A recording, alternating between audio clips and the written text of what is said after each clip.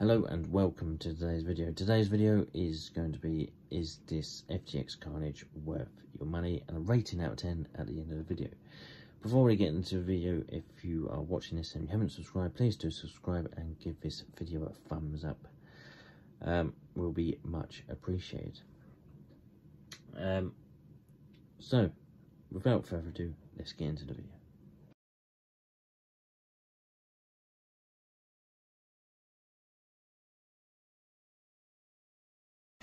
Okay, so the FTX Carnage is a one tenth scale uh, nitro car with a Force 18 engine. Um, out the box, it looks like this, um, which I'll put a picture on the screen now of what it looks like out the box. And, uh, you know, and what I've done is just change the wheels to black wheels just to go with the paint scheme um, on the body shell that I uh, sprayed up uh, which makes it um, look much more better than the white wheels um, that was on it. Um,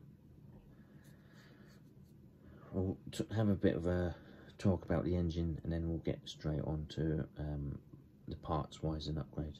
So the engine is a Force 18 engine. Um, it's a pull start, but you can upgrade it to a roto start, a drill start, whatever you want to call it. And uh, if not, then you can get a jump box and you know start it that way. That way is completely up to you. Uh, however, you know, I would strongly recommend um, if you're not using this in your back garden um, and you have no source of a heat gun or hairdryer or something like that, then uh, before you go out on the field, um, you order yourself a heat, uh, an engine heater, which takes a 3S LiPo um, and uh, you take that with you just to give your um, Nitro Carnage um, a bit of heat before you start it up. Um, obviously, if you, you know, if you just take it out without any source of heat, um, it will take longer to start and you risk getting blisters as well. obviously when it does start um, it is a very good running engine. Do the follow the break-in procedure. Um, you know then you can tune it up. Um, just keep an eye on temperature. Um, just listen out uh, for the sound if it sounds good. Um, it's not bogging or anything like that. And just make sure that you have a thin um, visible blue line smoke coming from your exhaust at all times.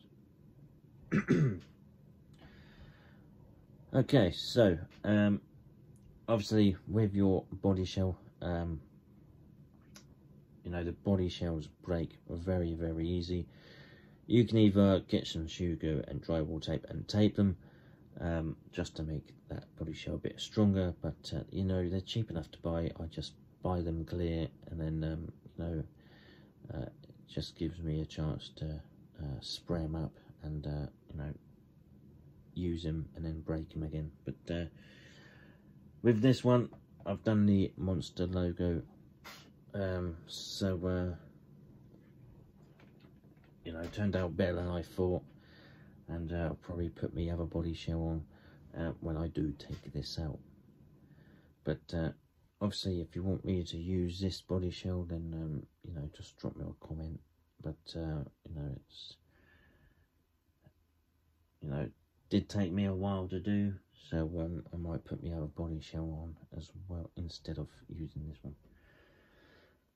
Um, upgrades and parts. Upgrades you can upgrade this really well so you can do uh, aluminum uh, lower suspension arms front and rear. You can uh, get aluminum shocks um, and uh, you can get aluminum uh, chassis braces as well. Um, obviously you've got already got a you've already got a aluminum uh, chassis which um, I have bent so make sure you get a spare one. Um, you can get a tuned pipe which if you do get a tuned pipe make sure that you get some heat uh, protection um, tape to put on your body shell so it doesn't melt it because tuned pipe does get very hot. Um, you can even um, you know with your pull start you can get a aluminum pull start as well.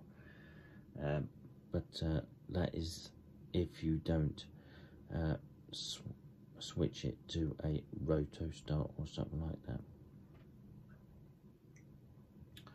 you can also get uh, carbon fiber uh, front and rear shock towers and you can get um, aluminum body posts which I highly recommend if uh, you do plan on getting one.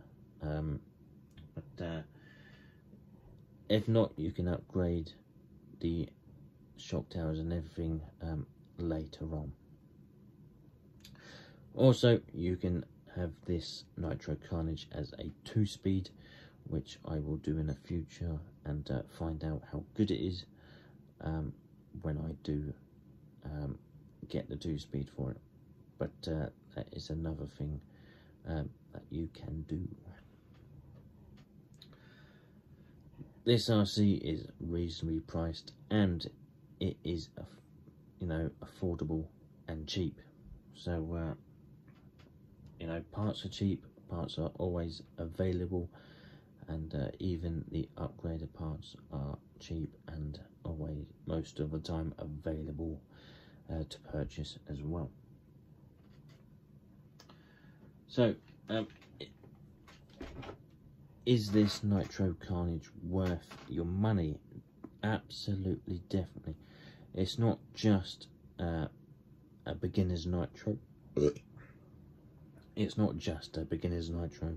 Um, even if you're not a beginner, you can still enjoy this Nitro as well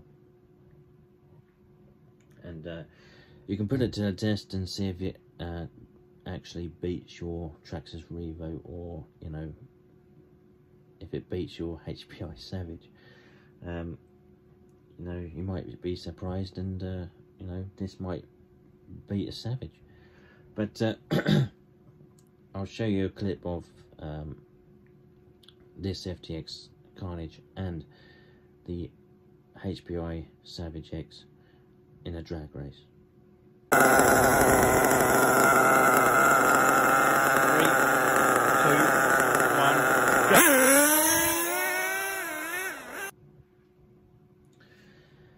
Okay, so that was a drag race. Just uh, if you're watching this far and you see it, just um, drop me a comment on who you think won the FTX Carnage or the Savage.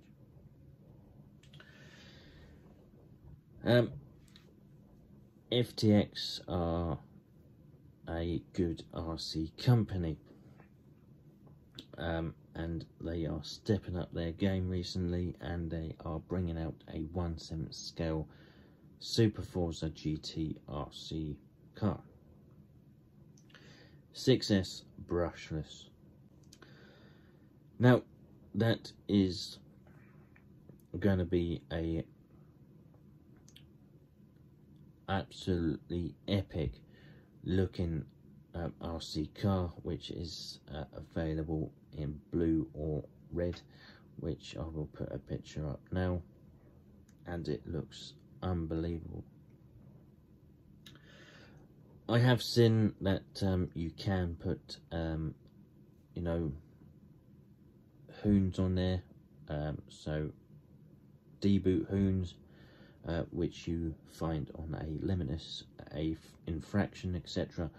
You can put the same wheels on the FTX Super Forza GT, which um, will be a good upgrade because obviously the wheels that come with the Super Forza GT aren't looking too good. But um, the car looks great and uh, it will definitely be on the channel when I get it so uh, just let me know if um, you know if you're thinking about getting the FTX Super Forza GT as well okay back to the Nitro Carnage so um, definitely worth your money. It's uh, you know cheap, affordable, a good beginner's car, and plus, even if you're not a beginner, uh, you know upgrades are cheap enough to buy as well. You can make it two speed. Uh, the engine tunes uh, very well. It holds the tune well. Um, and uh, you can have an absolute blast with the RC. The only downside is obviously if you don't upgrade it, then it will, um, you know, it will break fairly easy if you have a crash or something like that. So uh, just be wary of that. if you don't upgrade it straight away, you can just make sure you get parts, which um, your lower suspension arms on the rear and front, just get some spare of them. Uh, shock towers, front and rear just get some spare of them and body posts just get some spare of them um, because that is what will break um, you know the most. Rating out of 10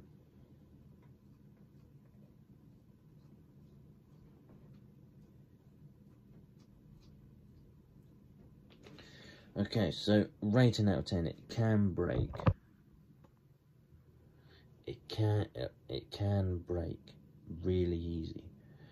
Um, but however the parts are really cheap enough to buy. Um, the performance of the car is really well. The performance of the car uh, it performs really really well. And uh, you know the the engine runs well it holds a tune.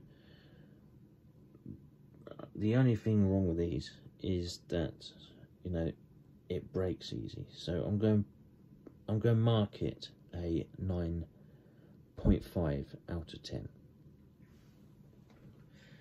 so 9.5 out of 10 for the ftx carnage. Um, just uh, let me know in the comments what you think. Um, and uh, you know thank you so much for watching if you made it this far. And uh, till next time then goodbye for now